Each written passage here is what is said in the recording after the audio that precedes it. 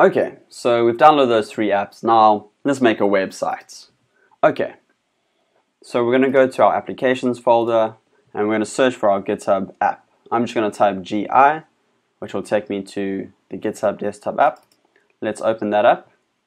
And you'll be asked for passwords, authentication, you'll be taken through a bunch of intro screens, and eventually you'll come to something like this, which will ask you for your login and password, which you probably won't have, so we're going to get one from github.com.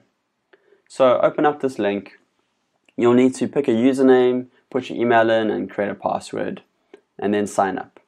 If you already have an account like me, you can sign in. So my username is Mr. RA screencast, and my password is a secret. So once you've signed in or signed up, you will get to a screen that looks like this. Very important, though, is to verify your GitHub account on your Gmail or on your mail app, wherever. Without verifying it, you can't actually host pages properly. Okay, so let's create a new repository, which is like creating a new project. Let's call it Cartoon Hero or Ghetto. I would prefer Hero. The description, my first website, or let's say um, a website about my cartoon hero. Let's keep it public so that people can view it, that people can copy the code if they want. Let's initialize it with a README. They're a bit sticky about this, so rather include it and create your repository. What we need to do first of all, I know it's really overwhelming seeing all of these, and you know, all of this information, all of these links, is just to click this drop down and type in GH pages and create a new branch called GH pages. So either press enter or press that link there. This creates a new pages and this is a special branch where we can actually host our website. Okay, so that's step one. Step two is going to the GitHub desktop app and logging in again.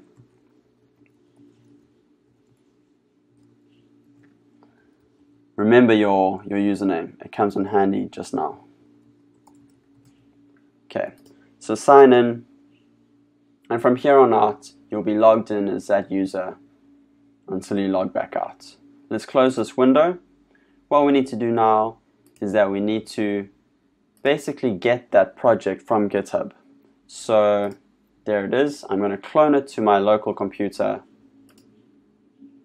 I'm going to select the desktop as my project directory and voila.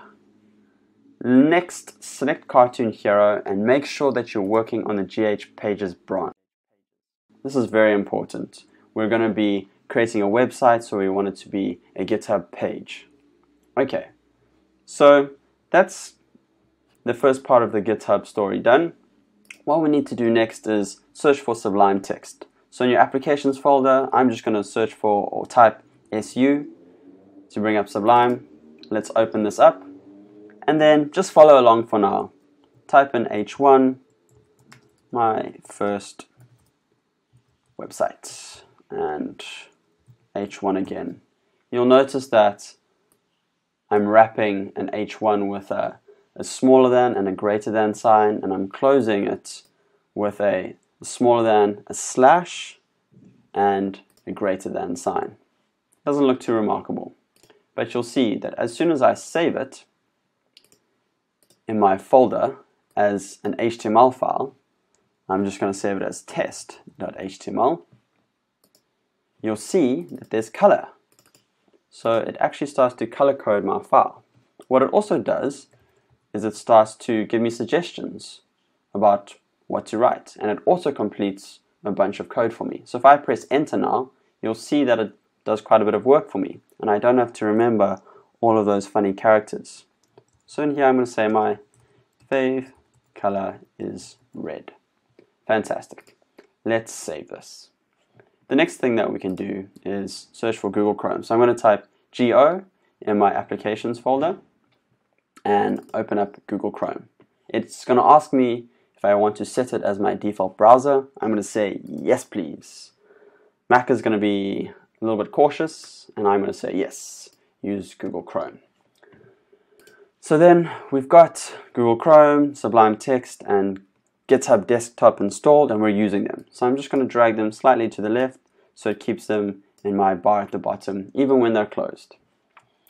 In my Finder window, I'm going to go to Desktop, open my Cartoon Hero folder, and drag my test.html file into Google Chrome. And ta-da! There is my first website.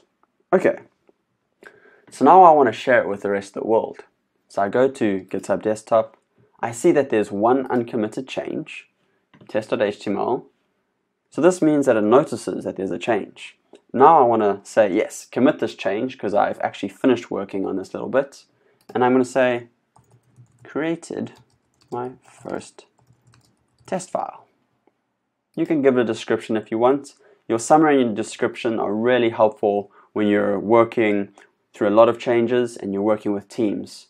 So you can say, this is exactly what I've changed and this is why I changed it.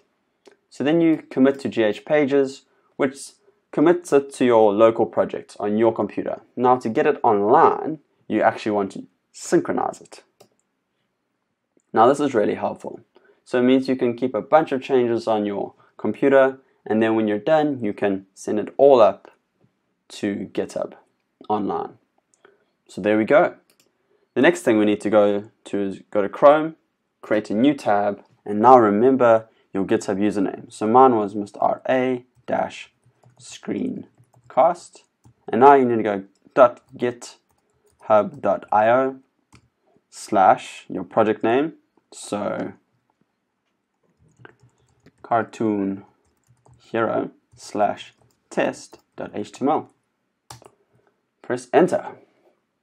Okay, there is an error. Let's have a read. It doesn't contain the selected file. That's because I misspelled it. So let's actually spell it right, test.html. And there we go.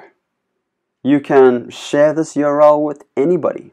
Okay, but now I actually want my red to be red. So now this is where it gets really powerful. Go back to Sublime Text and we're going to type span, not spam. And you see how it auto completed there again. Fantastic. And we're going to give this element an attribute.